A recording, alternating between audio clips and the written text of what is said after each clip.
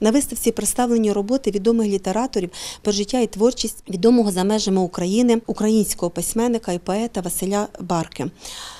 Е, Хоча він жив за межами України, але насправді він ніколи не покидав Україну.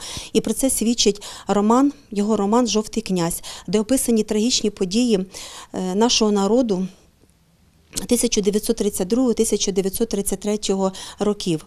У цьому романі письменник створив образ е, жовтого князя, який несе розруху і упустошення.